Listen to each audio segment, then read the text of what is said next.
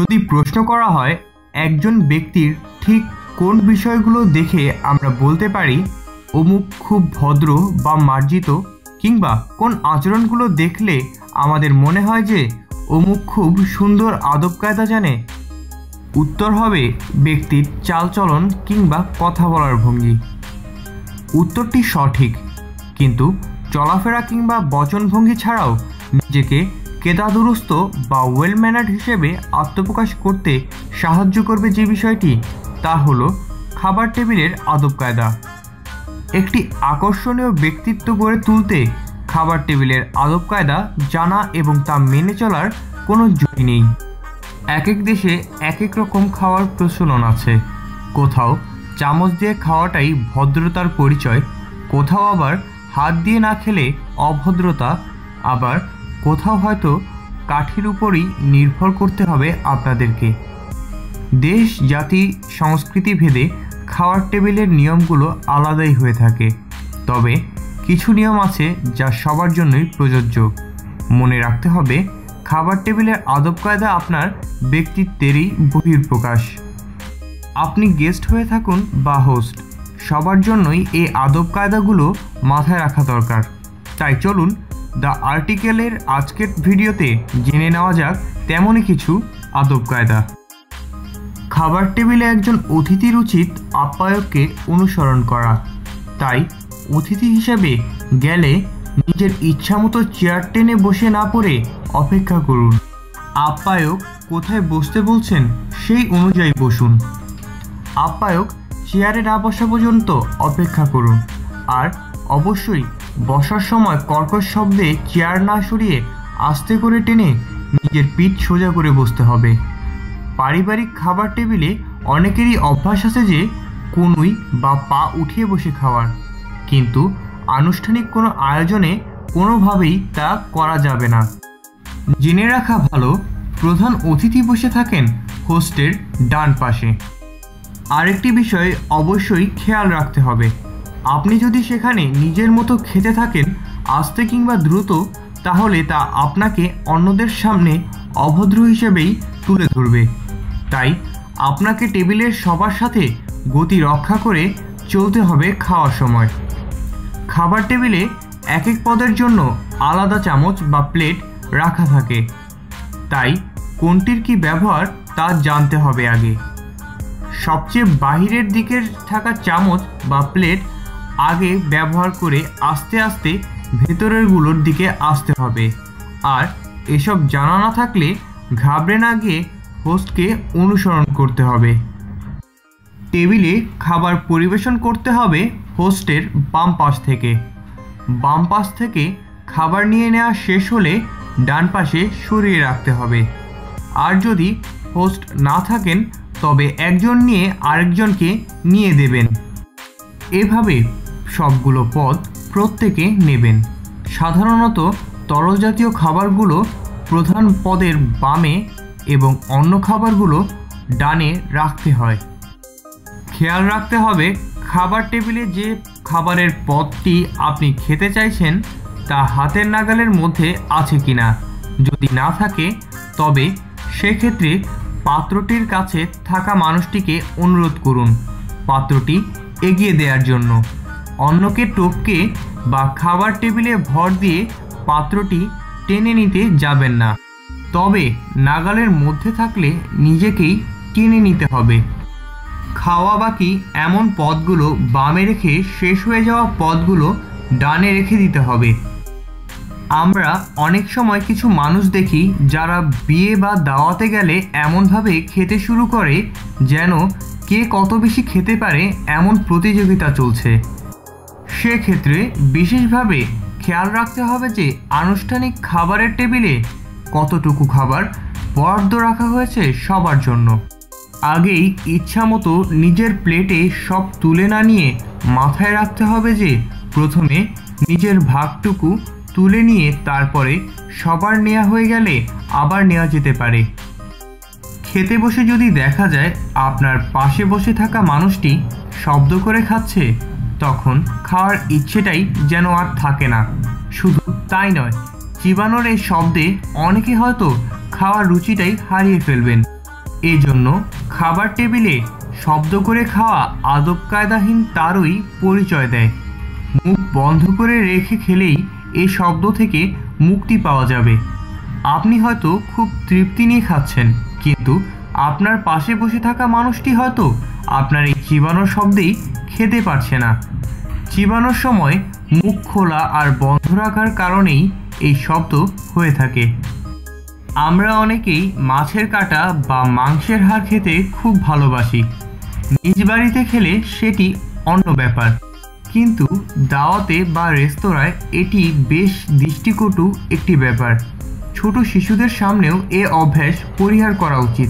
কারণ তারা একেই স্বাভাবিক বলে ধরে নেবে এবং অনুসরণ করবে। খাবার টেবিলে বসে খাবারের দিকে মুখ রেখেই হাঁচি বা কাশি দেওয়ার অভ্যাস খাবার টেবিলে অত্যন্ত আপত্তিজনক একটি আচরণ।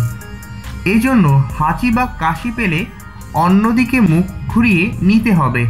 সেক্ষেত্রে অবশ্যই মুখে রুমাল বা হাত দিয়ে ঢেকে নেওয়া উচিত।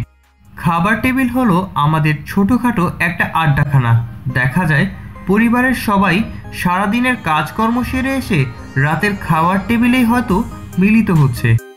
সারাদিন কেমন গেল, কি কি হলো, এসব গল্পের মাধ্যমেই রাতের খাবারটি সম্পন্ন হয়। আর সেজন্য এ সময় অবশ্যই খেয়াল রাখতে হবে যেন মুখের খাবার নিয়ে কথা না বলি। মুখের খাওয়াটুকু শেষ করেই উত্তর দিতে হবে বা কথা বলতে হবে। তা না হলে মুখের খাবার ছিটকে পড়ে খাবার টেবিলের মনোরম পরিবেশ নষ্ট করতে পারে। খাবার টেবিলে ন্যাপকিন ব্যবহার করা ভালো।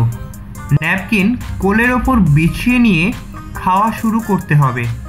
মুখে খাবার লেগে থাকলে সঙ্গে সঙ্গে ন্যাপকিন বা টিস্যু দিয়ে মুখ মুছে ফেলতে হবে। একজনের মুখে লেগে থাকা খাবার টেবিলে বসে থাকা অন্য মানুষের জন্য তা অরুচি বা ভক্তির জন্ম দিতে পারে। খাওয়ার মাঝে টেবিল ছেড়ে কোথাও গেলে ন্যাপকিনটি চেয়ারের উপর রেখে যেতে হবে। খাওয়া শেষ হলে ন্যাপকিন টেবিলের নিজের স্থানের বাম পাশে রেখে দিতে হবে। আমরা অনেক সময় চামচ দিয়ে খাবার তুলতে না পারলে আঙুল দিয়ে ঠেলে ওঠানোর চেষ্টা করি, যা নিজের ব্যক্তিত্বকে দুর্বল করে দেয় অন্যদের সামনে। তাই এই বিষয়টি যথাসম্ভব এড়িয়ে চলতে হবে। অনেকে আবার দাঁতে খাবার আটকে গেলে তা টেবিলে বসে বের করার জন্য খোঁচাখুচি করার শুরু করে দেন। এটি খুবই বিব্রতকর। তাই আটকে থাকা খাবার বের করার সময় অবশ্যই মুখে হাত দিয়ে ঢেকে অপর হাত দিয়ে বের করার চেষ্টা করা উচিত। ঢেকুর তোলা আমাদের একটি অতি পরিচিত অভ্যাস। কিন্তু খাবার টেবিলে অন্য সকলের সামনে এটি একেবারেই আপত্তিকর একটি আচরণ। একেবারে বেশি খাবার মুখে পুরে না দিয়ে প্রতিবার অল্প অল্প পরিমাণে মুখে পুরে নিন। হাড্ডি বা কাটা ফেলার সময় সরাসরি মুখ থেকে না ফেলে যদি চামচ ব্যবহার করে খাওয়া হয়, তবে চামচের সাহায্য নিন। অথবা যদি হাতি ব্যবহার করা হয়, তবে হাত দিয়েই খাবারের উচ্ছিষ্ট অংশ ফেলে দিন। প্লেট বাটি নেওয়ার সময় যেন শব্দ না হয়। এই বিষয়গুলো মাথায় রাখতে হবে। এছাড়া শব্দ করে চুমুক দেয়া, হাত না ধুয়েই খেতে বসা, দাঁত খিলানো, এগুলোও অশোভন। অনেকেই আছেন যারা খাওয়া শেষে প্লেটে হাত ধুয়ে ফেলেন এবং হাত ধোয়ার পর তা পরনের কাপড়ে মুছে ফেলেন। কিন্তু এই কাজটি অবস্থাতেই করা যাবে না। খাওয়া শেষ হবার পর হাত নির্দিষ্ট জায়গায় ধুয়ে তোয়ালে বা টিস্যু দিয়ে হাত মুছতে হবে। খাবার টেবিল থেকে ওঠার সময় পাশের জনকে বলে টেবিল থেকে উঠুন। এতে আপনার ভদ্রতাই ফুটে উঠবে। ছুরি চামচ এবং প্লেটের অবস্থান নির্দেশ করে কে কতটা ওয়েল ম্যানার্ড বা কে তা দুরস্ত। খাবার টেবিলে নিজেকে অনন্য করে উপস্থাপন করতে যে বিষয়টি জানা থাকা দরকার, তা হলো ছুরি চামচের ব্যবহার। ছুরি চামচ প্লেটের মাঝে কোনাকুনি করে রাখার অর্থ হচ্ছে আপনি খাওয়ার মাঝে বিশ্রাম নিচ্ছেন। যোগ চিহ্নের মতো রাখলে বোঝায় আপনার প্লেট খাওয়ার জন্য প্রস্তুত এবং সেই হিসেবে ওয়েটার খাবার সরবরাহ করবে। আড়াআড়িভাবে সমান্তরাল করে বা পাশাপাশি আড়াআড়ি করে রাখলে তা বোঝাবে খাওয়া খুবই পছন্দ হয়েছে। উলম্বভাবে সমান্তরাল করে বা পাশাপাশি লম্বালম্বি করে রাখলে তা বোঝায় খাওয়া শেষ। ওয়েটার আপনার প্লেটটি নিয়ে যেতে পারেন। ছুরি চামচ একটির ভেতর অপরটি মূলত কাঁটা চামচের ভেতর ছুরি গেঁথে কোণ তৈরি করে রাখার অর্থ আপনার খাওয়া শেষ। কিন্তু খাবার একেবারেই পছন্দ হয়নি। এছাড়া ছুরি চামচ কীভাবে ধরতে হয়, এ নিয়েও ভিন্ন নিয়ম আছে। কন্টিনেন্টাল পদ্ধতিতে ডান হাতে থাকবে ছুরি আর বাম হাতে থাকবে কাটা চামচ। ডান হাতের ছুরি প্লেটের কাছে ধরে রাখতে হবে আর বাম হাতের কাঁটা চামচ দিয়ে খাবার মুখে পুরে দিতে হবে। এ সময় লক্ষ্য রাখতে হবে কাঁটা চামচটি যেন প্লেটের দিকে ঘোরানোই থাকে। আমেরিকান পদ্ধতিতে অবশ্য বাম হাতের কাঁটা চামচ ডান হাতে নিয়ে খেতে হবে।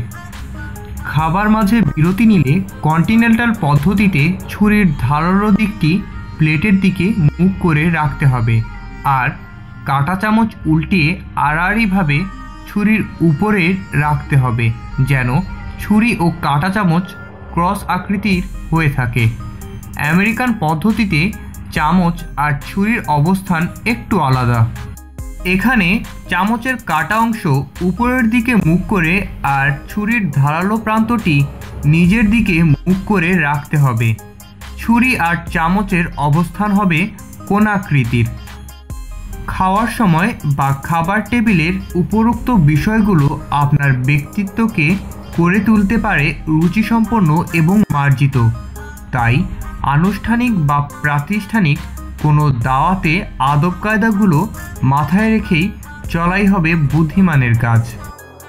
আমাদের ভিডিওটি ভালো লেগে থাকলে লাইক করুন, কমেন্টের মাধ্যমে জানিয়ে দিন আপনাদের মতামত এবং পরবর্তীতে আমাদের আরও ভিডিও দেখার জন্য চ্যানেলটি সাবস্ক্রাইব করুন এবং বেল আইকনটি ক্লিক করুন।